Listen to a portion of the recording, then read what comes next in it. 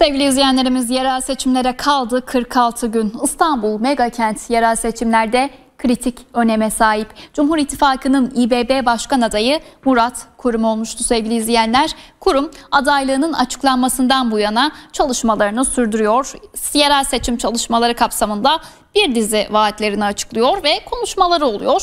Bir kez daha yerel seçim çalışmalarında kurumun hazırlıklarına bakacağız. Bu kez İstanbul Pendik'teydi Murat Kurum. Önce sivil toplum kuruluşu temsilcileriyle bir araya geldi. Ardından Pendik Spor Kulübü'nü ziyaret etti. Burada açıklamaları oldu. Hiç kimsenin mağdur olmadığı bir İstanbul için çalışacağız dedi. Ve basın mensuplarıyla birlikte futbolda oynadılar. Sonra Maltepe'ye gitti. Çünkü ben kalecilik yaptım. Bak bu tarihin golü olur.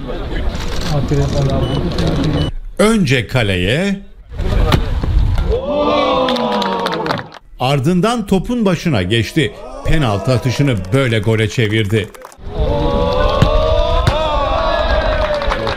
İstanbul Büyükşehir Belediye Başkan adayı Murat Kurum seçim çalışmalarını Pendik'te sürdürdü. Kurum ilk olarak sivil toplum kuruluşu temsilcileriyle bir araya geldi.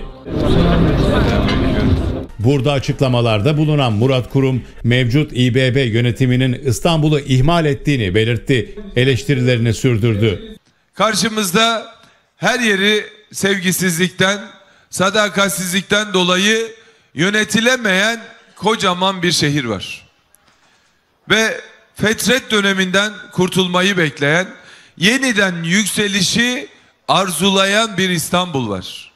Hak ettiği eserleri arayan aziz İstanbul halkı var. Biz bunun için çalışacağız.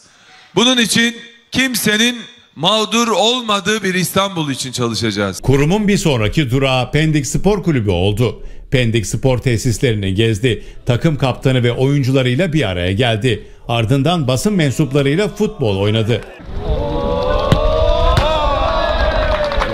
İşte bu gibi sahalarımızı her mahalleye kazandırarak orada gençlerimiz yakalayacağı başarılarla birlikte ülkemizi uluslararası arenada temsil etsin ve ay yıldızlı bayrağımızı gönlere çektirsin istiyoruz. Murat Kurum'un son durağı Maltepe'ydi. Kurum burada seçim koordinasyon merkezi açılışına katıldı. Ardından Trabzonlular Derneği'ni ziyaret etti.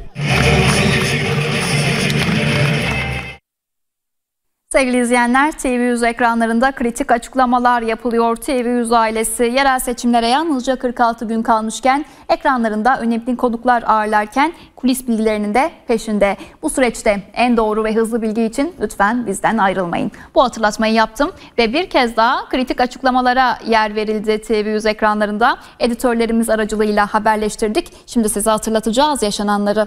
Türkiye İşçi Partisi'nden Hatay için aday gösterilen Gökhan Zan TV100'e özel açıklamalarda bulundu.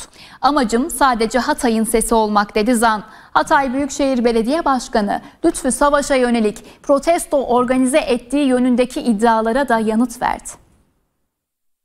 Şu anda bizim asıl gündemimiz deprem ve Hatay. Gökhan Zan, Türkiye İşçi Partisi'nden Hatay için aday gösterildi. Hatay Büyükşehir Belediye Başkanı Lütfü Savaş'a yönelik protesto organize ettiği yönündeki iddialar vardı. TV100'de Gürkan Acır'la Taksim Meydanı'na konuştu. Siz evet. böyle bir protestoyu organize ettiniz mi efendim? Cumhuriyet Halk Partisi Lütfü Savaş'a yakın olan isimler bunu söylüyorsa bilmiyorum ama bu benim adıma bir mahalle dedikodusu gibi bir şey. Mustafa Sarıgül'ün aday olması durumunda adaylıktan çekilebilirim dedi. Mustafa Sarıgül'ü görüştünüz mü efendim telefonla?